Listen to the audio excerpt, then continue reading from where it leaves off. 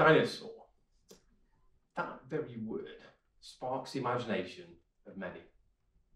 That's what it did for me.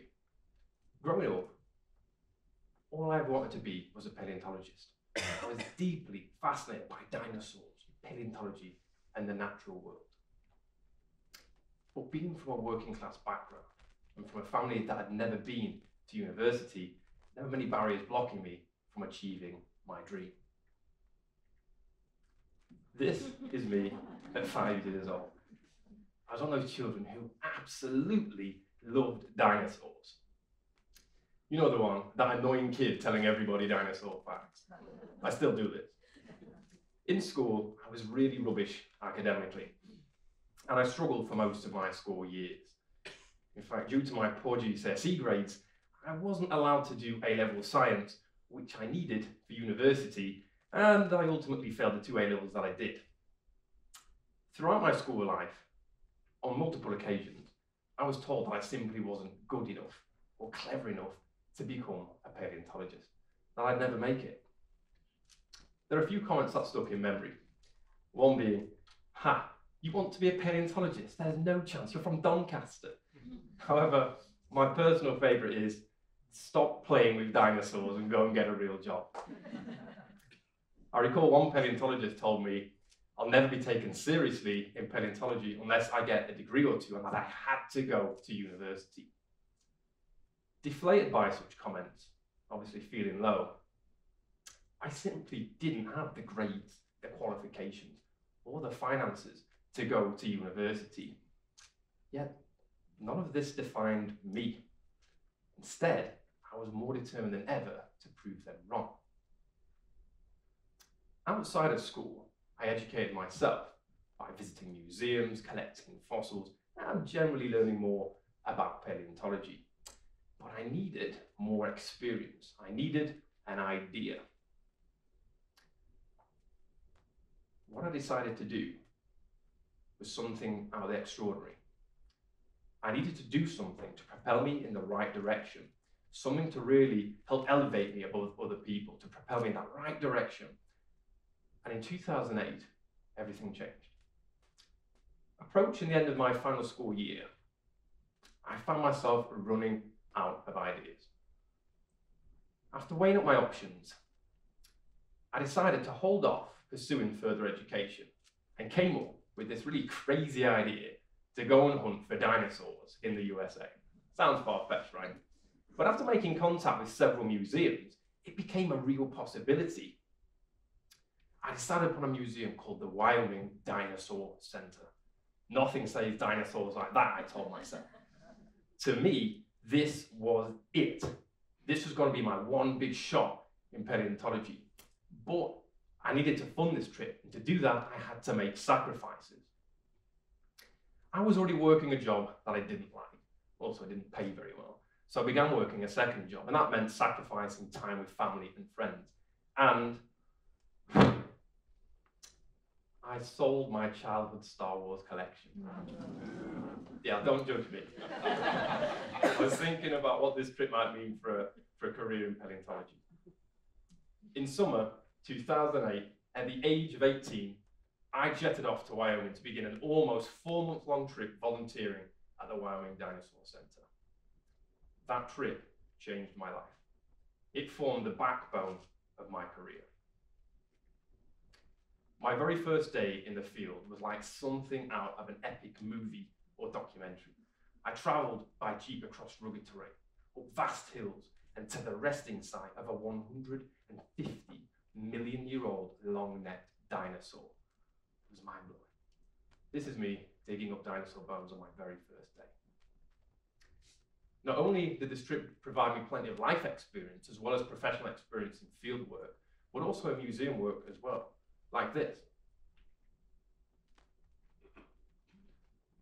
Helping to make a copy of a full Triceratops skeleton. It's the stuff dreams were made of. It was also my first introduction to research and academia. I had literally no idea how fossils are studied, written up, and formally described in scientific journals. It was an entirely new process to me. Eager to continue learning more, on my return from Wyoming, still aged 18, I began volunteering at a local museum right here in Doncaster, Doncaster Museum and Art Gallery. Now, I visited Doncaster Museum since I was a little boy, but they never had any fossils on display, and they didn't have a paleontologist. So imagine my surprise when I discovered that they had more than 10,000 different fossils in their collection. Going through the fossils, a member of the education team informed forming a fantastic replica ichthyosaur skeleton that they have. Ichthyosaurs are a group of truly fascinating extinct marine reptiles that superficially resemble dolphins and sharks. They look like this. Excited, I went to look at the specimen. Coming face to face with this ichthyosaur, something puzzled me. I had that nervous excitement with it. This was no replica. It had been mistakenly identified as a plastic copy, but I identified it as the real deal. You could say that nobody saw us. Sorry. Although I had no experience doing scientific research, after some encouragement from two ichthyosaur experts I happened to meet in Wyoming, I decided to study the specimen. As it turned out, this ichthyosaur is around about 187 million years old from the Jurassic period. It was collected from Dorset, England. I took a closer look at that dark mass you can see there between the ribs. In there, I identified a tiny fish scale and hundreds of microscopic hook-shaped objects from the arms of squid. What you're looking at is this animal's last meal before it died. That formed the basis of my first ever scientific publication and kickstarted my career in academia, and thus the transition from amateur to professional began. Even more extraordinary, working with Professor Judy Massare, who I happened to meet in Wyoming, we determined that this ichthyosaur was an entirely new species, and that meant we got to name it.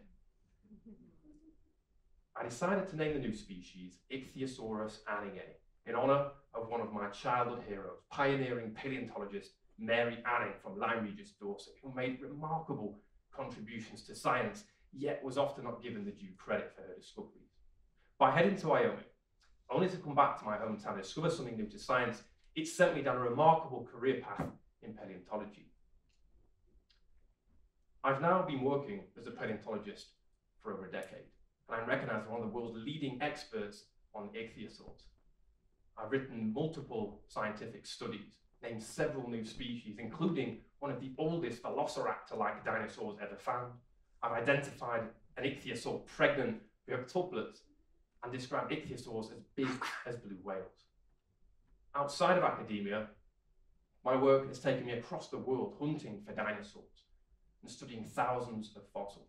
And I've even written several books, one of which, would you believe, even formed the basis of a primetime TV show that I was the expert co-presenter and series advisor.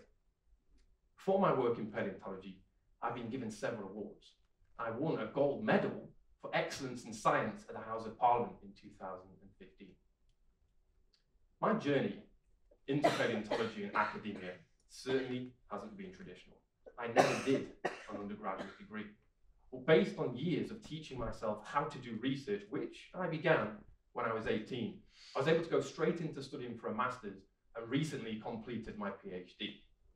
Having that idea to think outside the box, to go against the norm and dare to be different has allowed me to make my dreams a reality. And the point is, that's what you can do as well. Go out into the world. Don't wait for it to come to you.